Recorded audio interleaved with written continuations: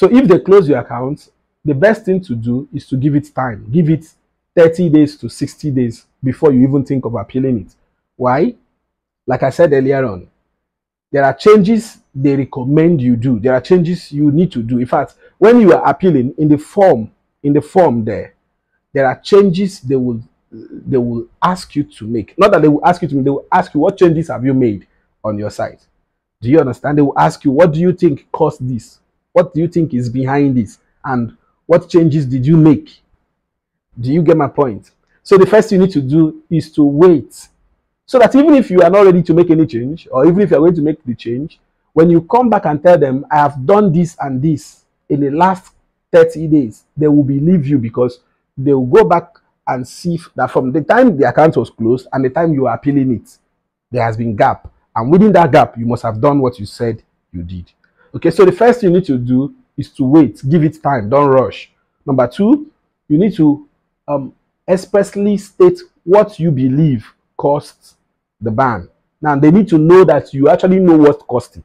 You don't you, you don't just come up and say um, uh, this account was banned and I, I, think I should have it back because there is money inside. Who born your papa? You get? They don't they don't want to hear that bullshit. They want you to tell them exactly what you feel you did wrong or what you know you did wrong. For instance, you can say, um, I started getting traffic from Facebook. For instance, if you are getting from traffic from Facebook, I started getting traffic from Facebook. So um, I started promoting my content and getting traffic from Facebook.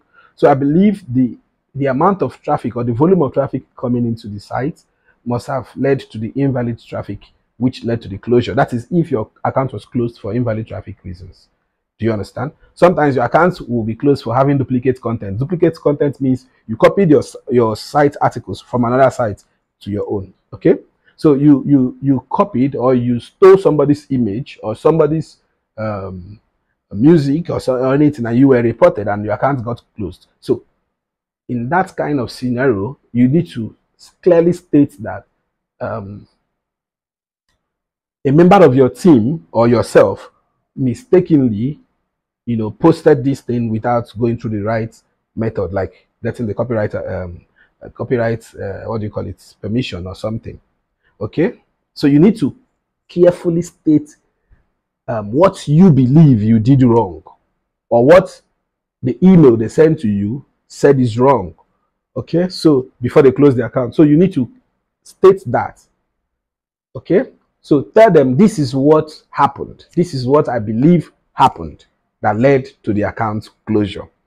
All right. Then number three, you need to tell them what you have done about that problem.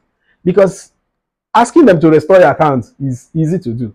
It's very, very easy for anybody whose account is closed to just come back and say, restore my, excuse me, restore my account. But on what ground? Why should they restore your account if you have not taken care of the problem in the first place? Because if you have not taken care of the problem and the account was restored, it's going to be closed back again. So they need to hear you say something like, I've made changes. These are the changes I have made. For instance, if you were getting your traffic from um, several websites, you can say, I've stopped promoting my sites with these partners, these third party partners. When I realized that their traffic uh, wasn't um, top quality traffic, that traffic was majorly bought, I stopped promoting, but it has already been late or it is already too late. It was already too late by the time I discovered because my account has already gotten closed. You know, stuff like that. You need to state what you have done and say, okay, if for instance um, it was closed for for having duplicate content, you will say things like, I've gone through the site using copyright, um, uh, what do you call it, using um, mm, plagiarism detectors, and I have discovered all of the content that were truly copied from my site by my copied from other sites to my site by my admins, by my writers and I have taken my time to delete every single one of them and as well as written an apology letter to the people whose contents this member of my teams copied. So they need to hear you say something that you have done about the problem. If your site was closed for having a, what do you call this one? Uh, is it uh, empty screen? There is this empty screen or low value content or something like that, you need to clearly state what you have done. For instance, you can say, um, since then, my, my, my you know, we stopped publishing for a period of time and our accounts got closed. Maybe for one year, for two years. For those of you who the last time you published article was since the day of Pentecost. All right. So, and your account eventually gets closed or maybe gets deactivated or anything. You can say the last time this, uh, or the last time we published content was so, so and so time. Maybe because you traveled out of the country or maybe because a member, the, the, your writer, your main writer resigned, and it took you a long time to find a replacement, a perfect, a perfect replacement for that team member. Then now you have a team member, and this new team member has written 30 articles in the last 30 days. They need to see it, they need to hear it, and they will see these things on your site. You don't just say it. These things must be real on your site, which means you must have published those contents within the last 30 days that you were um, you know you were busy working on the site before the appeal. Okay, so they need to hear you say stuff like that. You don't just come up and just appeal. No, these are things they want to hear. Sometimes you can even go the extra mile and say, My traffic came from so, so, so, so places. You mustn't give them the full detail, but you can just, you know, touch, touch, touch, touch here and there, here and there. And when they hear you say things like that, they will go through your analytics to check. They will be sure they will see stuff like that. They go through your um, your site records and everything with them, and they will see that truly you were getting traffic from here, but you are no longer getting it. For the last 30 days, your traffic has not come from some, somewhere like this. Because if, if that doesn't reflect on your analytics with them, that is on their on your data with them, they will still not restate the account. So they need to see that instead of getting traffic from here, which led to the closure, you're now getting it from this angle. And once they see that consistently on your site for the last 30 to 60 days, the account may likely get um, reinstated. All right. Now, apart from these things, on your own, you need to work on your site. Change your team if it's possible. Work on your SEO traffic, just the same way you have always done. Work on your SEO traffic.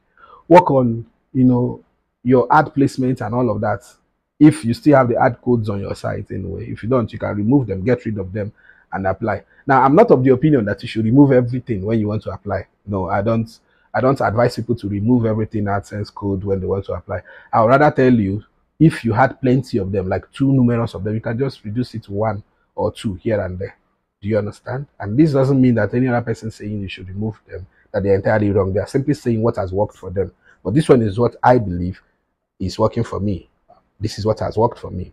Okay, so just take out one or two, just leave behind one or two there and then apply. So that if you were getting this invalid uh, uh, clicks on your account or invalid traffic on your AdSense account as a result of invalid clicks, by the time they check, they will see that you have reduced the number of um, uh, uh ad placements on your site so that you minimize the invalid clicks you are getting. All right. So you tell them I've reduced the number of ad placements. Okay. The, the reason I was getting invalid uh, activity on my site or invalid clicks or invalid traffic was because I had numerous adverts. I had, and they were so close to each other. Now I have made changes. I've reduced it to just one or two on the site. And also I have labeled them. You state these things clearly. My ads are well labeled for users to be able to know and click on them on their own choice as they find them um, interesting or as they find them useful to their needs. All right. So they need to hear these things and you need to make these changes actually on your site before you appeal. Okay. So if you do these things and as well as write fresh content, not those ones that were there since how many years ago, you need to write fresh content, you know, 20 to 30 new content on your site. Now, if you do these things, there is there is there is a high chance of you getting your AdSense accounts back. Now, before you say, ah, I don't have the time to do this, I don't think it's going to work, give it a shot. You never know how effective something can be until you give it a shot. So go and try and let's see if you get the accounts back. Good luck to you.